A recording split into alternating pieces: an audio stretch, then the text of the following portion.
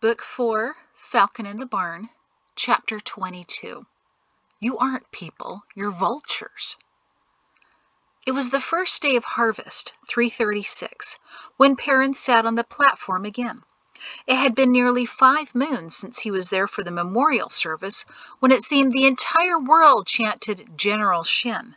But tonight there was a different feel in the amphitheater, much like the times he'd caught a thieving boy, forced him into a chair, and set into yelling at him about his duty and responsibility to the world.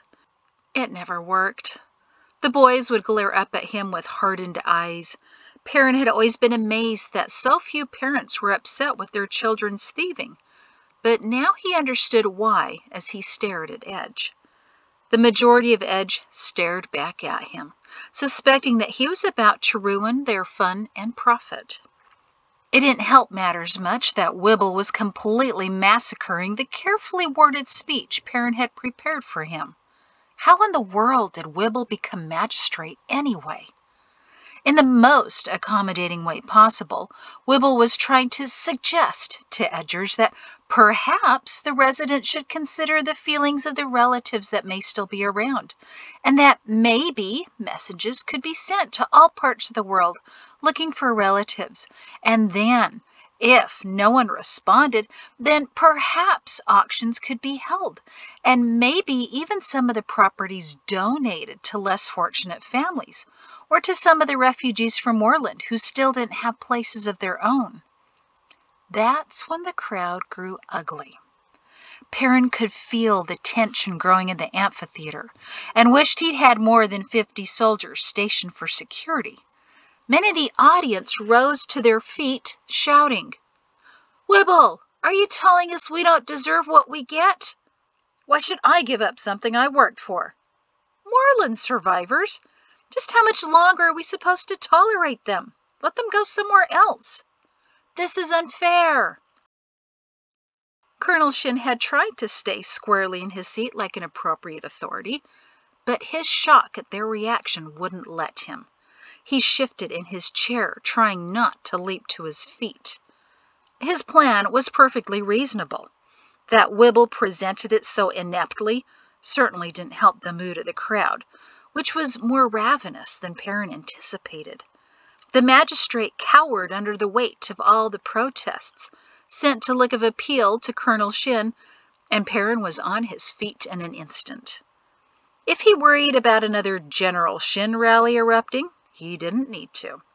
While most of the villagers silenced and sat down at the sight of the colonel, several men continued to stand, their arms folded in challenge. Perrin waited ten long, agonizing seconds before speaking.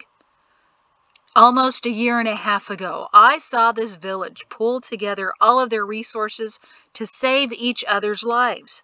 Each of your homes, barns, and shops were damaged. Each of your families faced food shortages, but each one of you made sure no one suffered. We all lost weight last year, but as I look around, I don't see anyone starving today. A few snickers rippled through the crowd as Colonel Shin's eyes paused on rotund Mr. Trum. He was one of the few who continued to stand, his folded arms resting on his great belly. He likely had many plans that Colonel Shin just may see fit to destroy, and he wasn't about to let that happen. Just this morning, I had read a report about how much property had been acquired during the past few nights. I'm sure those things weren't taken by our precious sons, which leads me to believe that someone else is picking up where the boys and the Guarders have left off. A few people squirmed in their seats, but not as many seemed to feel as guilty as the colonel had hoped. I have also read a report on how many lands, houses, and shops have been snatched from the dead. His voice boomed across the amphitheater. A couple of the standing men sat down. A few still remained, including Trum. Perrin took a few deep breaths to regain his composure. I can't help but wonder why our crops will be excellent this year. We'll have more than we expected to store. The herds have rebounded, trades come back, the shops are rebuilt, and people are buying goods. We have no more threat of attack from the Guarders. Thievery is down, or it was. An irritated edge entered to his tone. He shook his head in disappointment. I've lived here for 17 years now, and I predict that this will be one of our most prosperous years. Yet that's not good enough for you. A small smile emerged above the multiple chins of Mr. Trum. Colonel, he called out, it is a prosperous year and getting better. Why let others' properties go to waste? I'm not suggesting they go to waste, Trum. I'm suggesting we distribute them more fairly, more equitably, Perrin clarified. Many an edge are struggling to get by. Not everyone's well off. This is an excellent opportunity to balance some of that. I'm suggesting giving the properties, once we have no relatives wanting to claim them, to those in greatest need. Another man stood up. My two daughters just spent their entire weeding season break taking care of our neighbor's farm. Now you're telling me we're not entitled to it after all their labor? Perrin squinted at him. Two laborers for three weeks' time? Those wages wouldn't be near enough to purchase any land. I had no idea property values had plummeted so drastically. Nervous chuckles scattered through the amphitheater. But the man wasn't finished. We buried the family, too. And then took their animals as thanks? A woman in another part of the amphitheater, petite yet livid, stood up and pointed at the man. You know full well that hog was supposed to go to us. She had wanted me to have it. The first man pointed at her. The hog? What had you ever done to deserve that hog? He told me how he bought it, raised it, fed it, he was my friend, and his hog belongs to me. You have three hogs already, the woman shrieked. We have only two. The colonel says it's to be fair, and that isn't fair. Before Perrin could explain that wasn't what he'd meant at all, the first man's wife stood up, her face red with rage. You sow! she bellowed at the petite woman. Perrin recoiled. The only sows he knew of were questionable women that hung around the northeast entrance of the fort. Never had he heard the word used that way in mixed company, and certainly not out of the mouth of the cobbler's wife. The hog-wanting woman's husband now joined his wife and pointed at the first man. Put a muzzle on your own sow and give us back our hog like the colonel ordered. Perrin staggered, but no one noticed. It was the makings of a fight, and no edger wanted to miss out on it as the amphitheater erupted in an explosion of noise and shouting. Perrin threw up his hands in disgust, but the only one who saw him was Mari on the front bench, her head slowly shaking in amazement. On either side of her, Jaytsy and Peto stared, stunned. Magistrate Wibble, who'd been wringing his hands, turned to the colonel in desperation. Wibble was all about cooperation, as his campaign speeches declared, and, like all good politicians, he didn't have the first idea of how to establish that.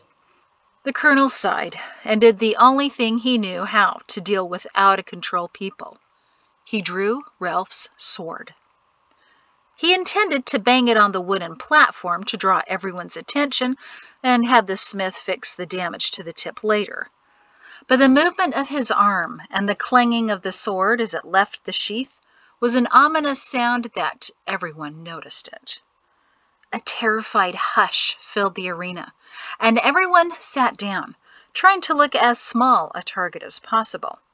Even Trum shrank on his bench, reducing him to the size of only two men. Perrin was tempted to replace the sword in his sheath, but the effect was too powerful to dismiss. Perhaps it was good that the village, while loyal and grateful, had also been terrified of him. Enough! he roared. The crowd surrounding him inched back even more. What's happened to you? All of you? You just buried your friends and now you're fighting over their possessions? You aren't people, you're vultures. Did they die fast enough for you? Colonel! Mr. Trum was on his feet again, a brave act for such a large target. "Colonel," he said more calmly, and with a touch of nervousness as the Colonel firmed his grip on the sword's hilt, "no one's trying to take away the significance of their deaths. We've all lost friends and even some family. But they'd want us to continue, don't you think?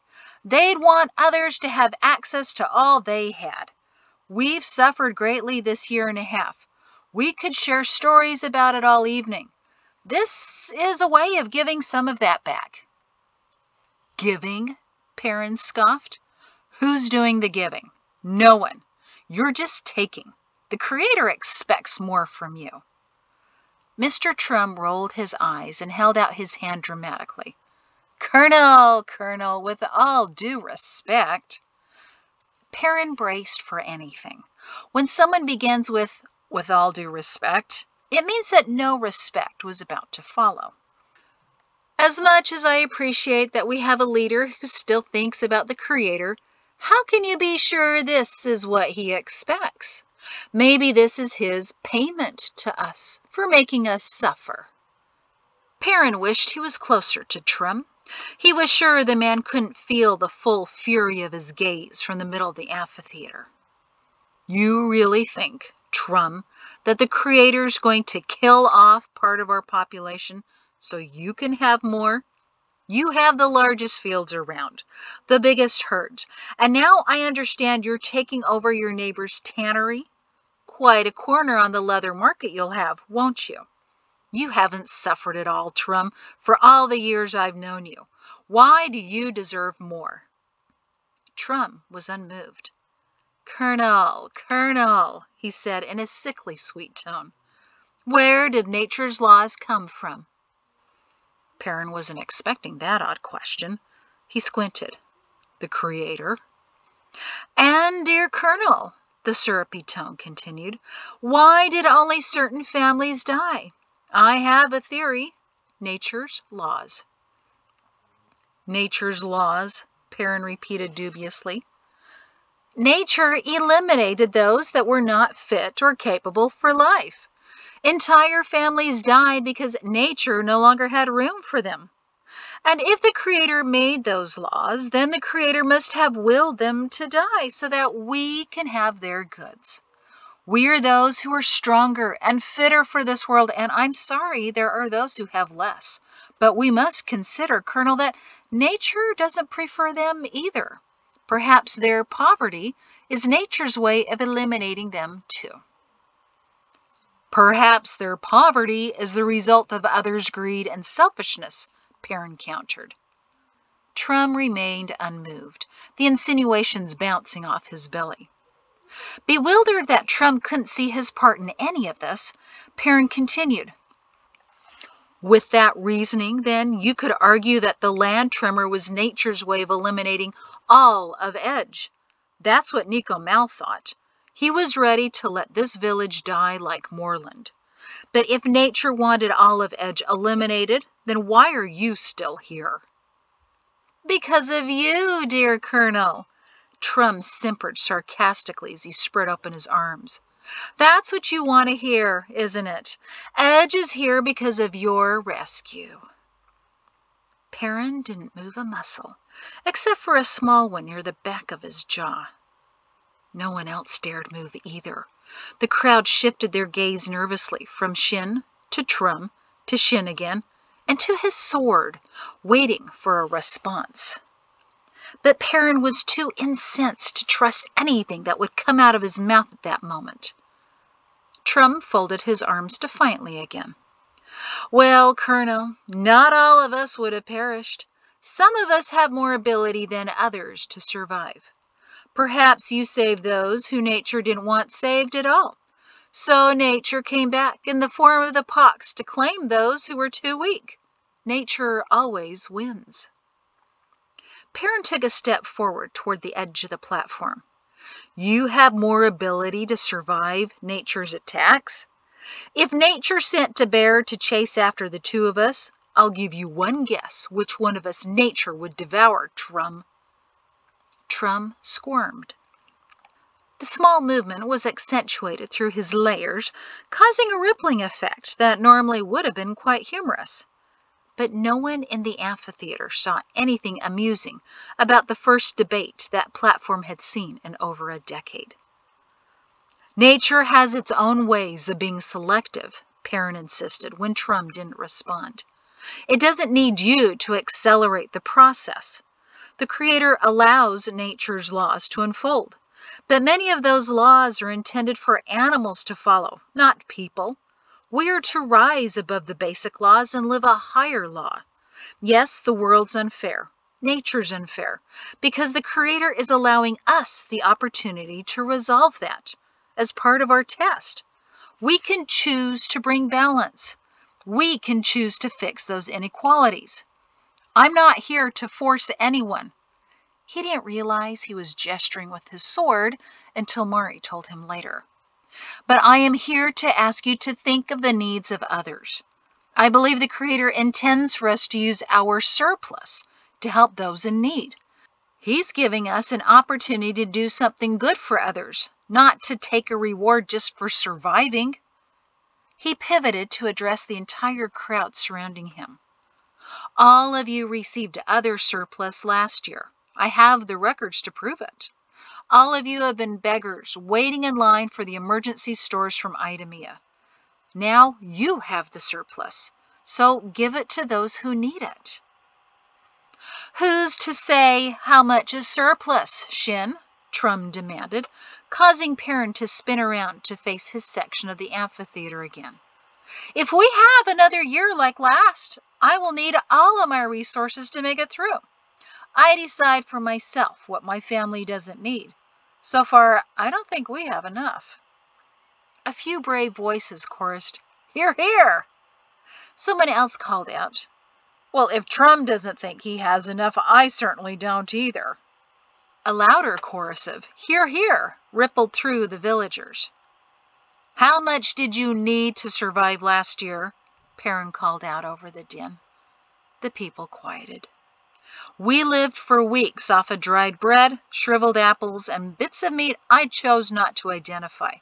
But we survived. And I never want to live like that again, someone shouted. I'm not saying you will, Perrin said. We have far more than that, but some still don't. Already your lives are better, so choose to make others' lives better as well. To a vote! Someone near the back began the chant. To a vote! Trum sneered in challenge at the colonel and punched the air above him. To a vote! To a vote! By the fifth cry, the entire amphitheater was demanding a vote. Perrin sighed. It was now beyond his influence. He motioned to the magistrate with his sword. With irritated emphasis, he sheathed his weapon and marched over to a seat to stand by it, his arms folded. Wibble tried to clear his throat over the noise, but the call for a vote echoed even louder.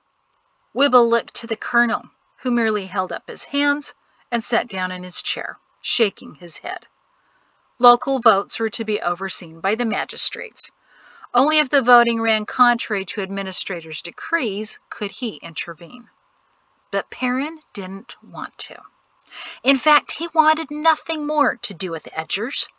He regretted ever wielding his sword in defense of any of them. For 17 years, he sacrificed his life for their safety on too many occasions. Because of these people, he lost sleep, lost time with his wife and children, lost his savings to pay off their expenses, lost his parents, and, for a time, even lost his mind. All for them. Yet when presented with the possibility of an extra hog, or another bushel of corn, or someone's abandoned shop, they couldn't imagine sacrificing anything at all for anyone. They were as bad as Idumea. Perrin hated Idumea. He looked dully over at Mari on the front bench, and she stared back at him, shaking her head in disbelief. He nodded at her once in agreement. His children on either side of her looked around, dumbfounded. Finally, the crowd began to silence itself. We have a call for a vote. Wibble tried to sound as loud as the colonel. Do we have a spokesman to articulate the nature of the vote? Let Trum speak, someone called. Several voices seconded. Trum waved in acknowledgment and made his way up to the platform with a small grin on his face as others patted him on the back. He was wheezing by the time he reached the top stair, and wisely did not look at the colonel. If he had, he most likely would have withered to the size of a regular man under the glare. Trum gestured with his thick hands clubbing the air. I propose we vote on the ownership of the properties left by those who died, he announced. All property currently in possession of others stays in that possession. All other properties not yet claimed will be done so by those living in closest proximity to the deceased. The people cheered in agreement. Perrin leaped from his chair, ran toward the back of the platform, and jumped off taking the stairs in two large steps. He landed right in front of a very startled Chief Barney and grabbed his arms. Get your men out there now to all the abandoned homes not yet claimed. Why? Barney asked, his eyes hazy as he tried to catch up to the conclusion the colonel had already reached. For a chief of enforcement, he wasn't very swift on his feet and was even slower in his brain. They haven't even voted on anything yet. But they will. Perrin shook his arms to jostle some sense into him. And when they do, what's going to happen next? The chief tried to puzzle it out, but two of his officers nodded as their faces went pale, a bit quicker on the uptake. They heard the call for a vote coming from the magistrate. All in favor? Chief, now to the abandoned properties. Barney nodded obediently and turned to his six men that were behind him, already heading out the back doors. A loud chorus of Favor! cried out over their heads. Perrin sat down in resignation on the steps of the platform. Any opposed? shouted Wibble. Perrin leaned forward and held his head in his hands. A few timid voices called, Opposed! Then those in favor have but the magistrate's voice was drowned in the thunder of thousands of edgers in a mad dash to be the first to leave the amphitheater by any exit. A few screams suggested someone had been hurt, but the flurry of people didn't slow. A few even came over the platform and raced down the back stairs past the form of the colonel still hunched on the steps. Perrin began to rock slowly back and forth. Animals, he whispered. Just a bunch of stupid animals. He noticed a blue uniform rush up to him, and he looked up at the owner of it. Sir, Lieutenant Offer panted, what do you want us to do? Head out to the properties as well? Perrin shook his head and stood up. John, I don't want any of my men mixed up in this mess. Tell your soldiers to patrol the roads, protect those who are innocent, especially children and those from Moorland. But do not get involved. We're done sacrificing for this village. Mari gripped the arms of her children, not worried that they'd joined the stampede, but to make sure they didn't get accidentally swept up in the current. This is madness. At least we already gave my mother's house to that family from Moorland. Peto turned. Wow, I've never seen this place empty so fast. We need to get out of here, said Jaytsy, wringing her hands. I want you two to head straight home, Mari told them, and secure the doors and windows with the iron rods. Why? Jaytsy asked worriedly. Precautionary, Mari assured them. But if someone doesn't get a piece of property they think is owed to them, they just might come seeking revenge on the colonel's house. What about you? Peto said. I'm going up to the fort to watch what's going on from the tower, and then I'll get me an escort home. I'm going to find your father, so you two head home. Jaytsy and Peto nodded and jogged to an exit. Peto! Jaytsy panted as they reached the village green where they could break into a run. Well, as much of a run as Jaytsy's skirt would allow. We're not going home. We're headed to Deckett's. Why? Did you hear what they were saying about those from Moorland? I heard a bit, Peto said, as he cleared a small bush his sister had to go around. He slowed to let her catch up. Something about them not deserving? Oh, I see. Exactly, stupid skirts, she muttered as she tried to find a better way to hold them up. Deck doesn't know about any of this, especially that those from Moorland may be targeted. Ah! she cried as her hem caught on a sticky shrub. Peto, warn him. I'll catch up. Are you sure? he called as he jogged backward. We're supposed to stay together. She yanked until her hem ripped. It was another Joriana Kuman Idumea dress, so it didn't matter. Just go! Warn him! By the time she made it to the Brighter Fort farm, Deckett and Peto were securing the last of Deckett's milk cows in the barn, so Jaytsy rounded up the stray chickens. Eventually, all of the animals were locked up, except for the stubborn bull, who was destined for the butcher's and the soldier's table next week anyway. Deckett reluctantly picked up a pitchfork, sighed, and placed himself in front of the latched barn doors. Peto retrieved a hatchet from a woodpile and took his position next to Deckett, while Jaytsy gaped at them. You're not seriously going to use those, are you?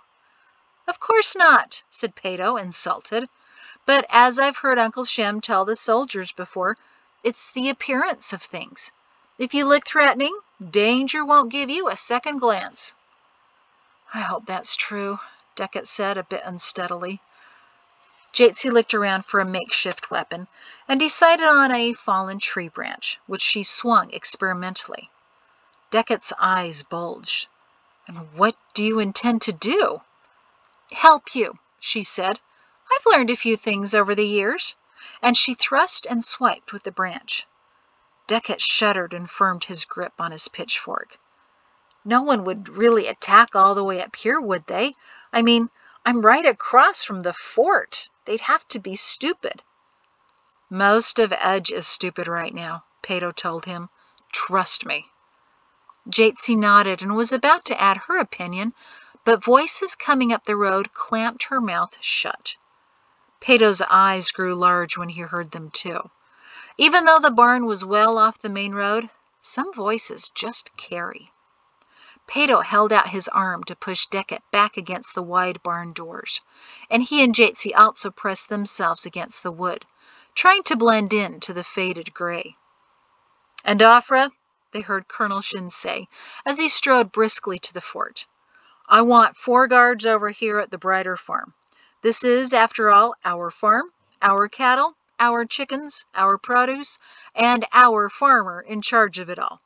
No one's to touch him or anything else.